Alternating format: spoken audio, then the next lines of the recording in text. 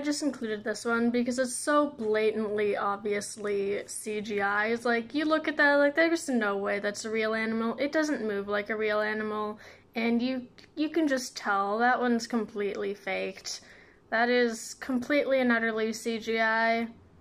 Like, if you can't even begin to justify that. It's like that it's not even good CGI.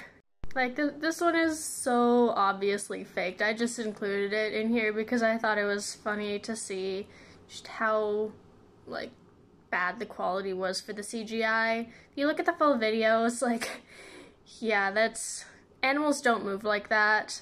It's just a computer generated image of what we think it would look like. There's no way.